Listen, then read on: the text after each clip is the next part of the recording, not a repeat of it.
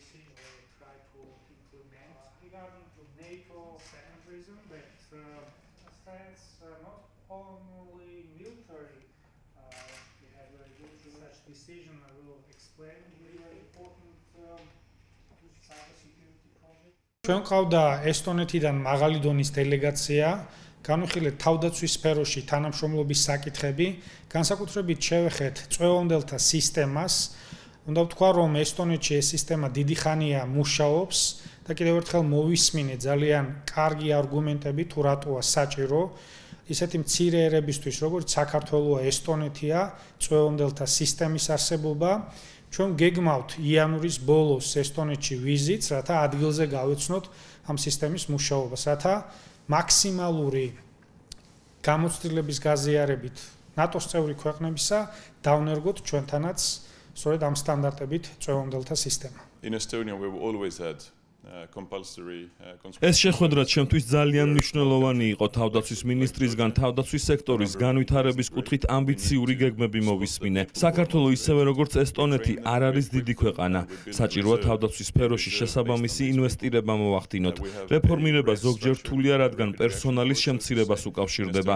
ანალოგიური მოქმედება განვახორციელეთ ესტონეთშიც. თუ საქართველოს მიზანია გახდეს ნატოს წევრი მსგავსი სახის რეფორმები აუცილებელია, მათ შორის ხარჯების შემცირება. გისურვებთ თქვენს მიერ დასახულ ამბიციური გეგმების წარმატებით განხორციელებას. ესტონეთში ყოველთვის არსებობდა სავალდებულო სამხედრო სამსახური. ესტონეთი საქართველოს მსგავსად პატარა ქვეყანაა. ხალხის ნაწილი არ მიესალმება სავალდებულო სამხედრო სამსახურში გაწვევას, მაგრამ მოსახლეობის ნაწილი მოტივირებულია. ჩვენ მათ წვრთნით, სათანადო აღჭურვილობით უზრუნველყოფ და ამით ქვეყნის რეზერვს ვქნით. ჩვენ სწრაფი რეაგირების ძალებით გვყავს 21000 კაციანი შემადგენლობით. ესტონეთი პატარა ქვეყანაა, მაგრამ წარმატებული. ჩვენმა კოლეგებმა ბალტიისპირეთის ქვეყნებში გააუქმეს სავალდებულო სამხედრო სამსახური რამდენიმე წლის წინ, თუმცა ასევე საქართველოს მეგობარმა ქვეყანამ ლიტვამ აღადგინა სავალდებულო სამსახური. შვედეთიც აპირებს აღადგინოს ჯარში გაწვევა. ნორვეგიამაც აღადგინა სავალდებულო სამხედრო სამსახურში გაწვევა. ფინეთს კი არასდროს გააუქმებია ჯარში გაწვევა.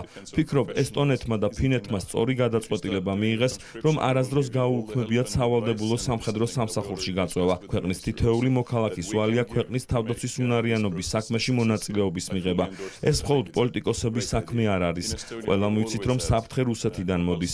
პატარა ქვეყნებისთვის კი მხოლოდ პროფესიული არმია საკმარისი არ არის. თუ თქვენ კვლავ აღადგენთ სავალდებულო სამხედრო სამსახურში გაწვევას, ჩვენ საჭირო რჩევებს მოგცემთ. სავალდებულო სამხედრო სამსახურის აღდგენის საკითხი დღეს თავდაცვის მინისტრთან შეხვედრაზეც განვიხილეთ.